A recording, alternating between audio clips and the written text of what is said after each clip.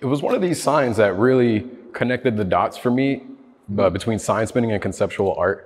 Because in much the same way numbers are not mathematics, I, I was quick to realize that uh, these signs are not sign spinning. Right? It's just one smaller piece of the uh, of the bigger thing. Yeah. So uh, and yeah, initially I didn't understand it, but They it all comes signs together. spun. Yeah. Well, it's the the I you know at this point, sentences on conceptual art is a classic. It's canonical. So in some sense, it's just it can be treated as raw material, right? That can be uh, chopped up to some extent. So I think there are some some of the statements are there's a, some degree of fragmentation. Some of the some of the, the, the statements I think. Um, but the uh, that um, but thinking of it as not just raw material but raw material one the reduction of it to raw material because it is canonical right it's as in art terms it's as well known as shakespeare Yeah. in some sense right but the uh, reduction of it to raw material, but then also the reduction of it to advertising, right? So to ask, is there, uh, you know, at what point do things enter into the public domain, right? At what point can these things be preyed upon and reduced or converted or transformed into advertising slogans, right?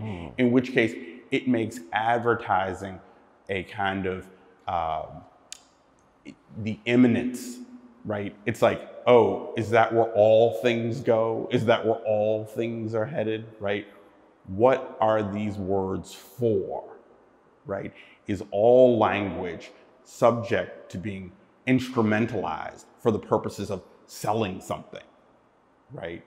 And so um, the, the, the idea that this can be done with LeWitt, I would say is much more of a, uh, a kind of proposition.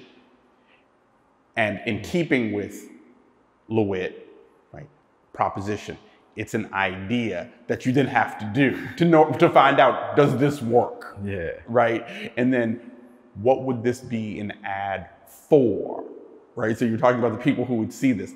You know, if I, you know, saw this cold on the street, and if I saw perception is subjective, that one I wouldn't necessarily remember as belonging to LeWitt. Numbers are not mathematics. Maybe I would remember, uh, there may be three or four in here that I could peg as belonging to LeWitt Right. but because they would be existing out of context, I would be asking myself, because it's a spinner, what am I being sold, Yeah. right? And I think that that's a that's a uh, uh, that's the rub. Like somebody saying, "Is this real estate?" Yeah. You know, and and thinking, um, uh, is it uh, where you know, I mean, there's a certain point which I would say the way advertising, how old is advertising? Not very old in some sense, right? It's a fixture of the way we live now.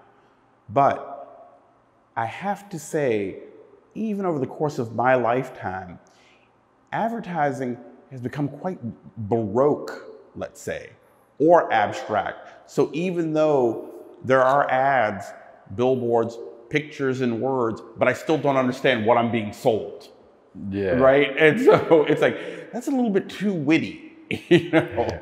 So Yeah. again, do we live at a moment and under conditions where any piece of text uh, from anything can be placed at the service of buying, selling, right?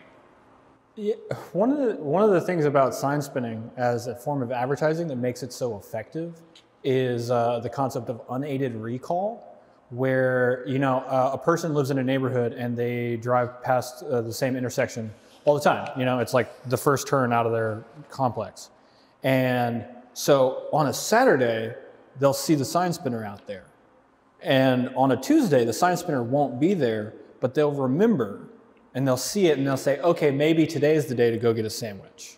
You know, and it's like, it's this impermanent, like, it's this sticking in the mind. And I think that's what a lot Yeah. of what the modern advertising, like, Yeah. you know, they've really focused on being so bizarre that your brain just, I don't know, I'm just puts Right. it in a box Yeah. somewhere. It's like it, there, it doesn't fit in any category, and some, somehow that's what defines uh, successful advertising now.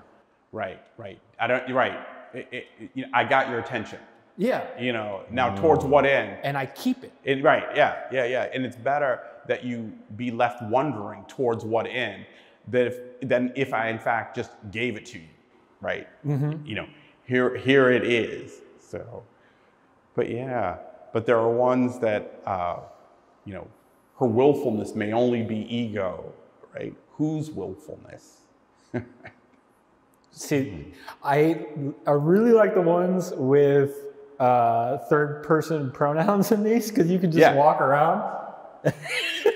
and and it, it- because it's an arrow, you know you can basically accuse people. Yeah. Oh, yeah. yeah. right. Exactly. I didn't think about that. I didn't. It points. Yeah. Right.